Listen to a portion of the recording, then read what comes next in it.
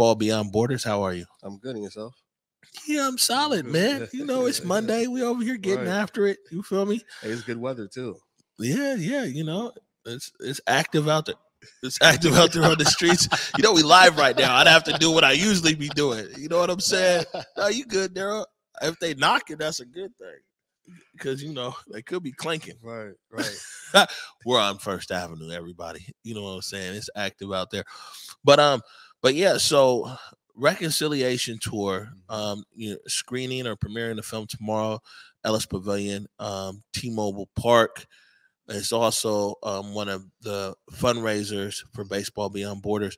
Before we get into the trailer, which we'll, we'll play here, man, tell everybody a little bit about yourself and Baseball Beyond Borders. Yeah. So I'm the brand manager, the brand ambassador at Baseball Beyond Borders. Um, I started off as coaching. Boogie got me he finagled me into coaching. Um, it was a bet that if I'm moving here from um, I, I was by coast between uh, Brooklyn and uh, San Francisco at the time, and um, I was dating my now wife, and he was like, "If you get engaged, you have to come coach with me." And I was just like, "Mm, "Yeah, cool." And then as soon as I got engaged, he sent me that text was like, "Yeah, we start in May." so that was about that was about eight, eight, nine, eight, eight years ago. Um, and then since then, I was I coached from the 15 year old team, the eight year old team, the 18 year old team, and then um, then I wanted to really focus on marketing, um, and professionally and personally, and that was my dream. So he was just like, "Yeah, you could just be the brand brand ambassador here." So um, I've been doing the brand ambassador role for about three to four years. So Okay, good stuff. Yeah. Let's take a look right now. This is the Reconciliation Tour. This is a trailer of the film premiering tomorrow at T-Mobile Park. A team really just means like all the people just working together to do stuff. And I really like being on a team because I can't beat nobody with just only me. I need help.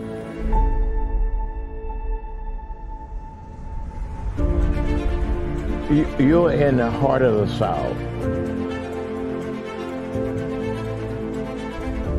We're here at the John and Vera Mae Perkins Foundation. Um, we're here running a baseball camp, working with uh, youth from West Jackson community, just trying to inspire them. The history of baseball in the black community started with the Negro Leagues. And with that, it created opportunities for community to come together. It was a piece of the culture.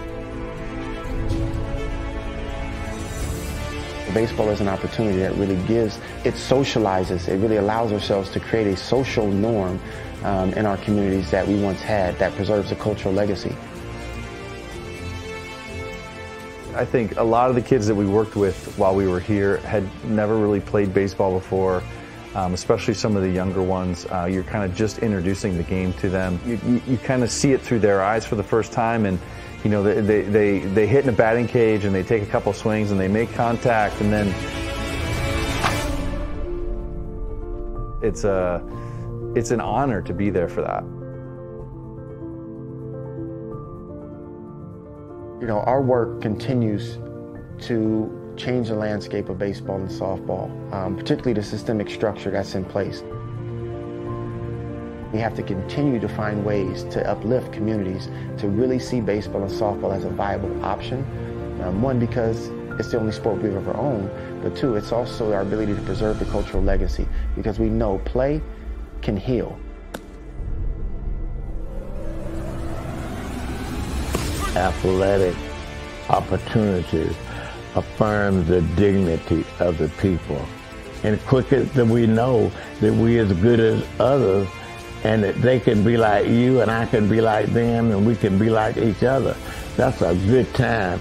Let's play together. come play for us, and we'll, I mean, it's easy to bond with us. It's easy to bond with me. So I mean, it's like, kind of like a second family. And you are able to bring kids um, to a different community like Jackson and, and then take them to Montgomery. Um, you're starting to expose them to voices that, that haven't been heard. We're seeing a lot of um, of the struggle of the civil rights movement, and, and we saw it in Jackson. We'll see it in the museums in, in Montgomery. I just wanted them today to realize you have an obligation. You've been told, you've been challenged. What you do with it is up to you, but you can't say no one ever asked you to get out there and try.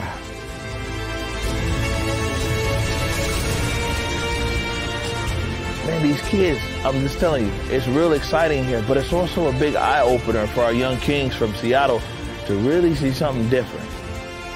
I'm just, I'm just hopeful that our young people will take something away from this, you know, even more than baseball.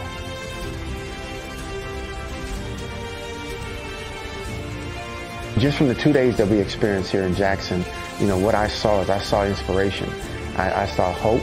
Um, I saw uh, an ability to be something. Come out and play with me is a beautiful thing. Let's play together.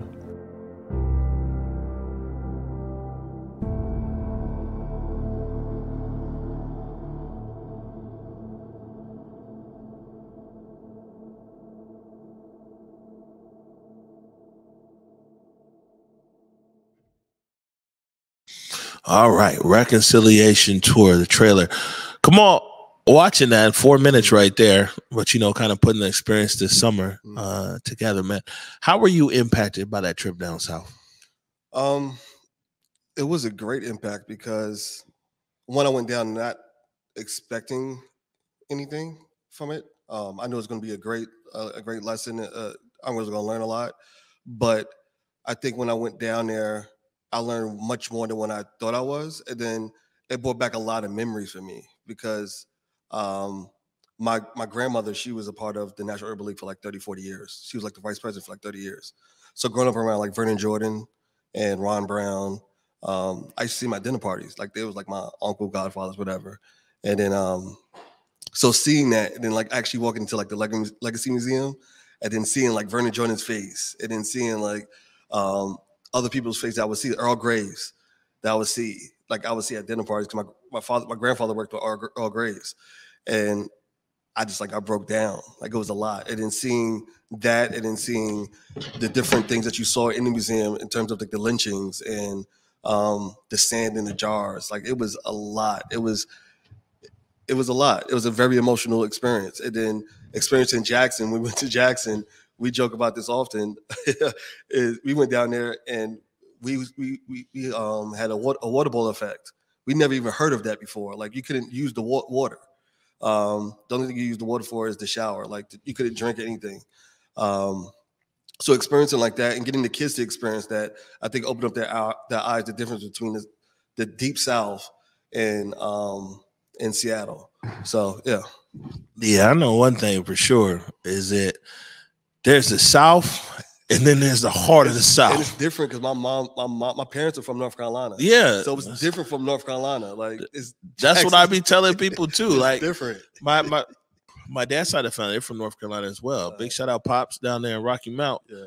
And I be saying that like North Carolina and Mississippi, Different. my friend, Yeah. it's night and day. Yeah. You know what I'm saying? I mean, the thing is, is like Mississippi is, is like a it's a time machine, bro. Mhm. And you know, when you go to downtown Jackson, it, it looks like it, I mean, the buildings there looks like Yeah. it's still stuck in the 60s or 70s, man. Mhm. You know, it's it's wild. What what is some of the biggest things that you want um the the young boys and girls who participate in baseball beyond borders to take away?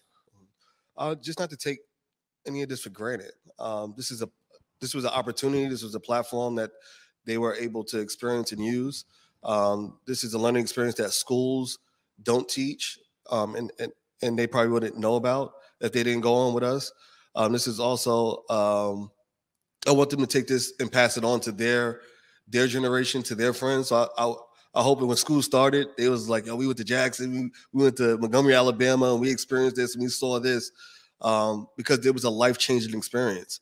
Um, and those teen, they got the experience when we was teenagers. We we're grown men in 30s and our 40s, and we we're just experiencing it, and it was a life changing experience for us also. But for them to get the get this information and get this experience this young, it looks it, it's amazing. And i want them to take it away and not take it for granted and really share that experience um, and whoever they encounter. And i think that's what you're going to get um, tomorrow at the premiere. You're going to get some of the kids sharing their experience and how it touched them from when they came back to seattle um, they didn't see anything really the same like they, they kind of saw it differently kind of changed for them so yeah Right.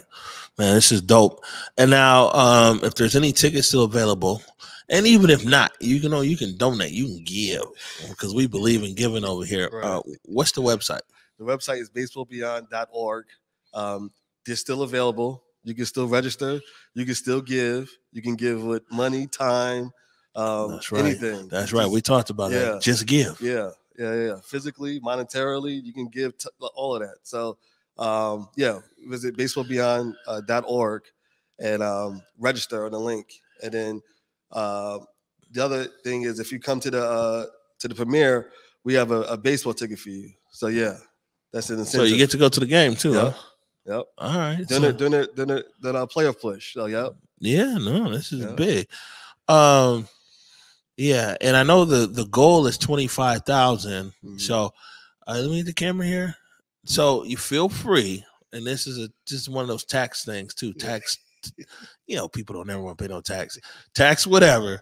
If anybody out there, we got one ticket for twenty five thousand for you too, or you know what I'm saying. Uh, you want to bring somebody with you, two tickets for twelve thousand five hundred. You know, all the way down to you can show up with nothing and just Right. give a lot of positive vibes and hugs. But you know, if you don't ask, man, you don't get. So if you out there with 25 racks that you want to give to an amazing cause, you know what I'm saying? Go to baseballbeyond.org and go ahead and sign up and go ahead and make that $25,000 donation. So then everything else, because you know, some of us, you know, we giving five fives and tens. Right. You know what I'm saying? We can make them fives and tens the cherry on top. Somebody come through with the 25. Yep. Yep. Yep. There it is. Yep. Cemal Ford, Baseball Beyond Borders. Thank you for joining us. Thank you. I appreciate it. Good stuff. We're gonna take a quick